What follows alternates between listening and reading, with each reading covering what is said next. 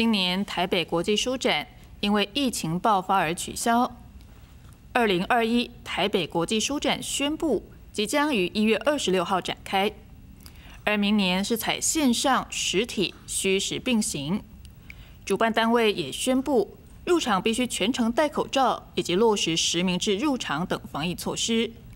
文化部也宣布首次推出每张一百元的购书抵用券将在入场时发放。